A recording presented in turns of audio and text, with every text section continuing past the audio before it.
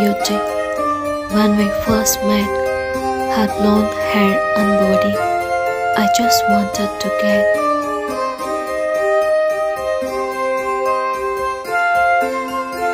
The good times were many, the worries were few. We fed upon lust, then love began to brew.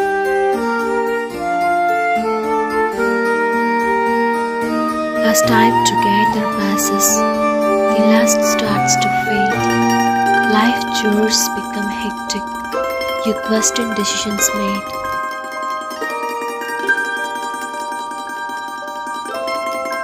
First there is compliance, followed soon by contempt. Love is then questioned as sex is exempt.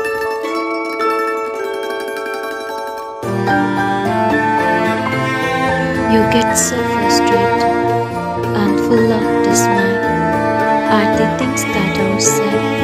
Marriage isn't meant to be this way.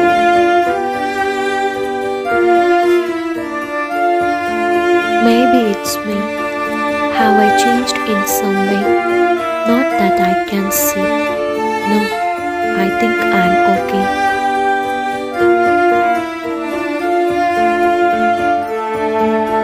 Then you realize one day that something's amiss. The love is not there. No more sharing a kiss. With your heart now broken, you lay there at night, your eyes wide open, thinking this isn't right.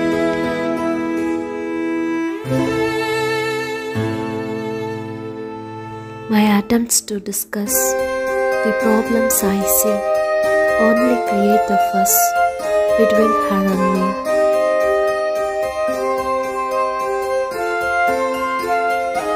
In your heart, you now know how the story will go. Another failed marriage with three kids to show.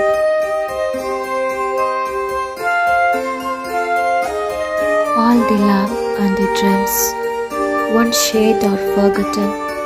Instead, they are replaced by actions all evil and rotten.